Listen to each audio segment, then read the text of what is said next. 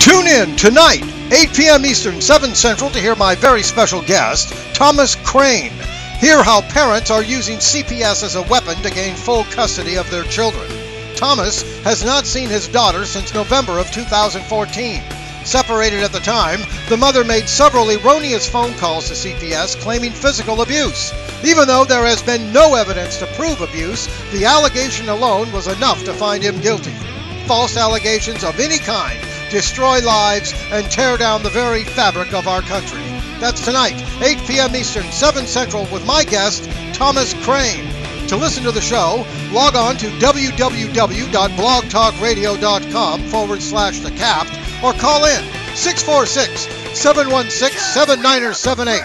When injustice becomes law, resistance becomes duty. We'll